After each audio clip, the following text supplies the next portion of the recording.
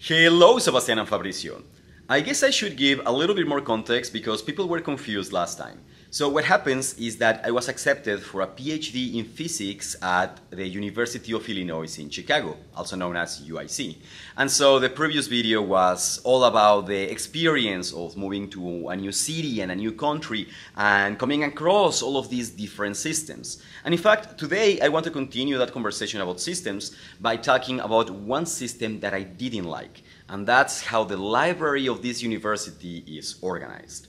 Okay, first I should mention that I really love libraries. I really love that experience of walking between shelves with thousands of books and thinking I could read all of those books. Like, if they are novels, they are fiction, I can experience all those books. If they are non-fiction, if they are textbooks, I can learn everything those books have to teach. It's a really cool experience. It's like a buffet, but for your mind. So, for example, let's say that you go to the sci-fi section and be like, hmm, what what sci-fi I'm gonna have today. Mm, yes, I have. I think I'll have some Stanislav Lem. Ooh, and tomorrow I have, I'll have some Ursula Le Guin. Oh, it's so great. I love libraries. But then uh, I went to the library in this university and I thought, oh, I'm gonna go to the sci-fi section. Uh, but I couldn't find it. I just walked around thinking that uh, eventually the, the way the, the, the library was organized was gonna become clear to me but it didn't. I was I was finding books about with fiction uh, next to books with non-fiction, book, and and they weren't organized by author.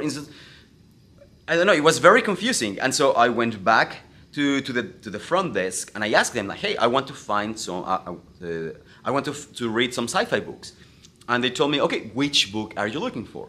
And I said, look, oh, I'm not looking for any specific book. I'm just I just want to see the, your collection of sci-fi books. And they told me that that was not possible because the books in the library aren't organized by theme. They are organized by geography. Kind of like they are organized by a combination of where the author was from, where the book was written, where it was published.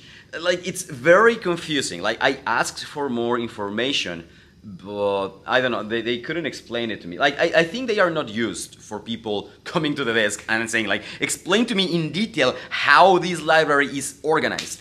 Um, so I, th I think I, I, I took them by surprise, and so they, they weren't ready to answer, for, answer me in the, with as much detail as I wanted. Uh, but the problem with this is like I was like, okay, so how do I find books in this library? Please tell me. And they told me like, okay, so just put the title of the book you want in this website. And, and like, no, no, just I don't have any title in mind. I just want to find books of one specific topic.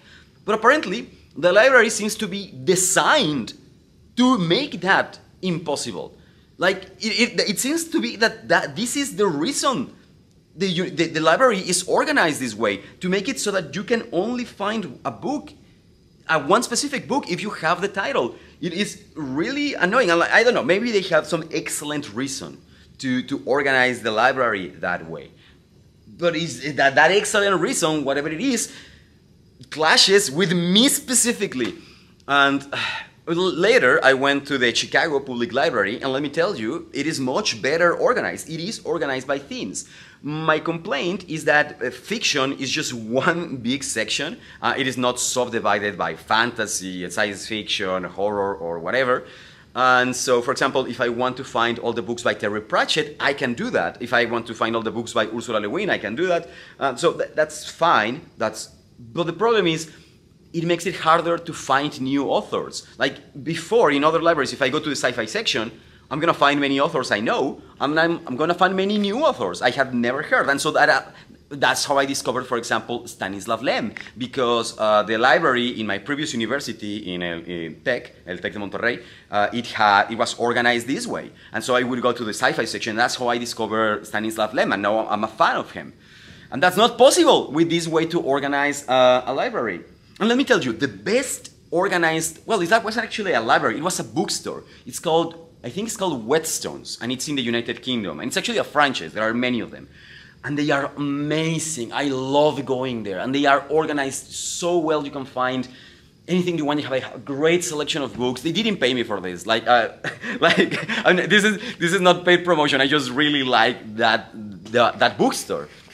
And I think that libraries should be organized like that bookstore specifically because it is so well organized. It was so amazing. I would go to the United Kingdom just to go to that bookstore to buy more books. Uh, I would like I, I would would like to go with a empty suitcase and come back with that suitcase full of books. anyway, so yeah, I didn't like the way the library here is organized. That's one system that doesn't. I'm not gonna. Um, I'm not gonna get used to that. It's not gonna work for me ever. Like maybe if I ever want one specific book, maybe I'll use it. But that's not how I use libraries. It's just very annoying. Anyway, uh, thank you guys, and um, I'll see you next time.